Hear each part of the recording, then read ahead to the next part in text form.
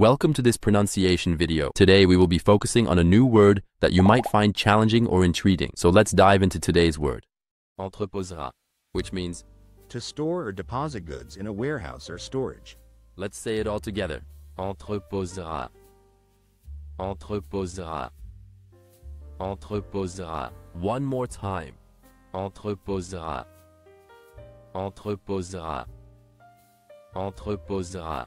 Thank you for joining us on this adventure in pronunciation. Remember, language is a journey, not a destination. Keep exploring, experimenting, and expanding your linguistic horizons. We'll see you next time.